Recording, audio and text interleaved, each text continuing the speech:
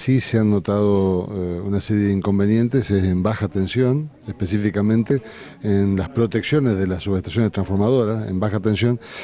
Entendemos que son producto de este, varios días continuados de frío y también aparentemente este, la calefacción eh, por el tema de las tarifas, de lo que se ha hablado de las tarifas de gas, aparentemente algunos se han pasado a calefacción eléctrica, porque eh, no teníamos esta respuesta en otros momentos, en otro invierno, y hoy, eh, sin embargo, han actuado a pesar de las repotenciaciones que hemos hecho. En Alto Comedero, por ejemplo, hemos recibido algunos sectores que le faltaba la luz eléctrica. En este sentido, eh, ¿pudo haberse registrado un inconveniente? Se han registrado inconvenientes, pero a nivel de fusibles, algunas fases, eh, mm, solamente se nos quemó un transformador de media baja aquí en la zona de Chijra pero a ningún otro lado. Sí ha habido actuaciones de los fusibles, entonces generalmente una fase de una subestación transformadora. ¿La estación de rebaje de Punta Diamante ya está funcionando a pleno?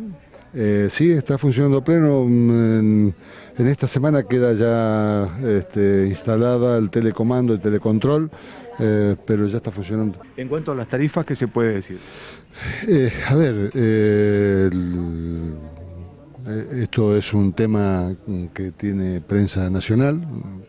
Aquí se ha dicho, este, hoy mismo en los medios de difusión sale que ha habido marchas pacíficas, específicamente en Libertador.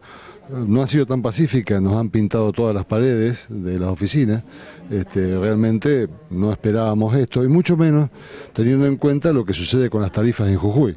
Las tarifas eléctricas en Jujuy han tenido un comportamiento, este, está totalmente normalizado el contrato de concesión, este, y los nadie dice que el gobierno provincial, gracias a la decisión que tomó de adherir a las pautas nacionales, hay más de 70.000 usuarios en tarifa social.